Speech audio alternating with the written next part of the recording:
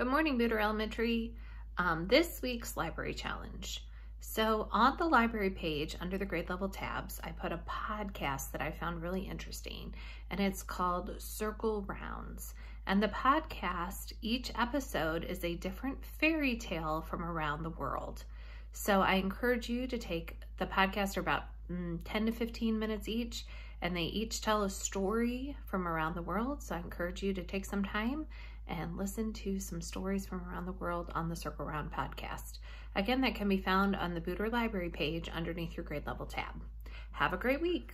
Hey boys and girls, it's Mrs. Carcagno coming to you from my family room this week. I have my son Sal with me and we're here to show you today, this week's PE challenge. First of all, you're gonna need some sort of roll. You can use a paper towel roll or you can use a toilet paper roll. So ask your parents if when you're done with one of those items, if you can have the roll that's inside. Your job this week is to try to see how many different places you can balance your roll on your body. You can try things like your palm, your elbow, your forehead, your knee. Try any of those things this week and see how you do. Miss you. Talk to you later. Bye. Hi, boys and girls. Today, we're going to play uh, music together using an empty oatmeal canister for our tubanos. We're going to do one of your favorites, a boom chick, boom chick, boom chick chick. So ask your mom or dad, maybe grandma, if they have an empty oatmeal canister you can use for your tubano. Okay, are you ready? Now I have two so I can practice passing it. Ready? Here we go. Boom chick, boom chick, boom chick, chick. Play your drum up, down, flip, flop, pass. Boom, chick, boom, chick, boom, chick, chick. Play the drum up, down, flip, flop, pass. Well, boys and girls, I just want to tell you that I miss you. And I hope you're being safe and sound and washing your hands. Take care.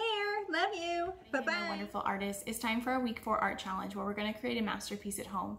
When working with our art challenge, it's important to use our four-step creating process. Those steps are inspect, connect, create, and reflect.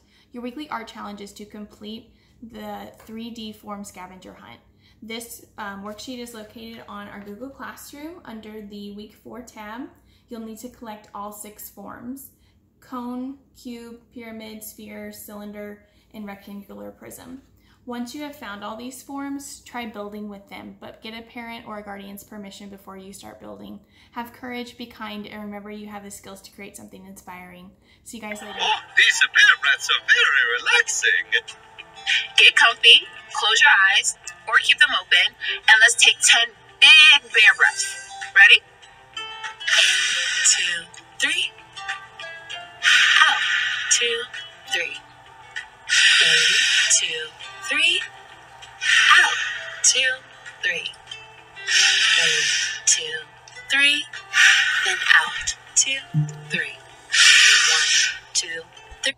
Hey, boys and girls, Mr. Anderson here. Hey, I'm in my backyard enjoying a nice, beautiful morning. I want to challenge you guys this week to take the time out just to help yourself relax. And one of the things I do is I go to the Go Noodle website and I find the bear breathe. And it helps me relax by breathing in, meaning I'm taking air into my body, and then I'm exhaling air out of my body. Exiting means going out. So you go breathe in through your nose.